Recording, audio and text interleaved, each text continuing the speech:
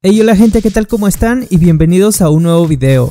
Parece que Tigres no está contento con el equipazo que ya tienen. Se dice que ahora están buscando al actual campeón olímpico Gabriel Barbosa. Según ESPN, Tigres estaría ofreciendo por el jugador del Santos de Brasil, aunque también se comenta que el Barcelona lo está buscando y ese podría ser un problema para el equipo del norte. Se dice que el Santos tiene una oferta por Gabriel por 27 millones de euros. Gabriel se desempeña de extremo, delantero o media punta. Mide 1,78 y tiene 19 años. Ha jugado la Copa Mundial Sub-17 del 2013, el Campeonato Sudamericano Sub-20 en 2015 y los Juegos Olímpicos en donde ganaron la medalla de oro en el 2016. A sus 19 años ha disputado 152 partidos y anotado 56 goles.